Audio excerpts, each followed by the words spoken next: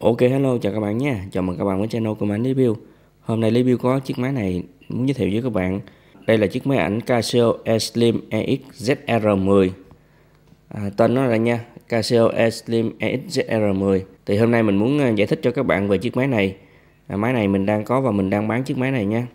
Thì cái máy này á, là nó đang hoạt động cũng khá là ok Khi mà các bạn bấm nút on off như thế này nè. Đó là khởi động máy nha và khi mà máy nó khởi động nó sẽ xuất hiện cái dòng cái chữ là land Error 2 khi mà các bạn khởi động thì nó xuất hiện cái dòng chữ mà land Error 2 đó đó. Sau đó thì khoảng ờ, vài giây thì nó sẽ như thế này nó bình thường nó trở lại bình thường như thế này. Và chúng ta sử dụng rất là bình thường luôn nha. Bây giờ ví dụ như mình bấm chụp nè. À, À, mình bấm chụp rất là ok bình thường luôn nha. Bây giờ mình zoom vào zoom ra nè. À, zoom ra không. Rồi bấm chụp nè. Thì mình giải thích luôn cho các bạn thì à, cái dòng mà Casio à, ZR á, thì có một số dòng nó hay bị cái tình trạng này lắm. Cái này giống như gọi là cái bệnh chung nha. Bệnh chung là cái lỗi cơ bản của cái máy. Trước đây thì mình cũng đã từng à, gặp nhiều máy như thế. Thì mình bấm đây nè ha. Đó.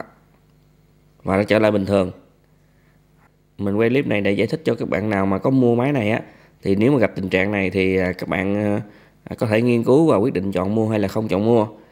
À, cái máy của mình hiện tại đây á, thì nó có xuất hiện cái tình trạng là lỗi len error 2 thứ hai nữa là nó bị hai cái đốm đen như thế này trên màn hình nha hai cái vệt đen nè. Cái này gọi là người ta gọi là cái màn hình bị bị tràn mực vậy đó.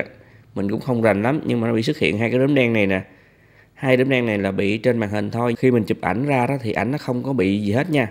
Cái đây là chỉ bị trên màn hình thôi.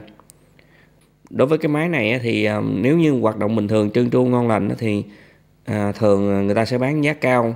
Giá nếu mà cái máy còn đẹp như thế này á thì giá nó sẽ ờ, trên là 2 triệu nha.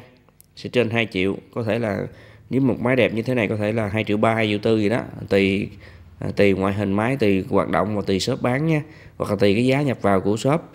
Thì máy của mình nó bị hai cái vấn đề. Vấn đề thứ nhất là khi khởi động là gặp cái tình trạng là lên error 2 như thế này. Vấn đề thứ hai là trên màn hình xuất hiện hai cái vệt tràn mực như thế này. Bên mình sẽ bán với cái giá mềm hơn so với bình thường. Và bên mình vẫn bảo hành đầy đủ cho các bạn nha. Bảo hành đầy đủ hết. Mình cũng xin giải thích luôn là cái lỗi mà lên error 2 đó là rất nhiều máy bị tình trạng đó nha. Gọi là cái bệnh chung á rồi, ok, thì mình ờ, giải thích cho các bạn như thế nha. Chào các bạn.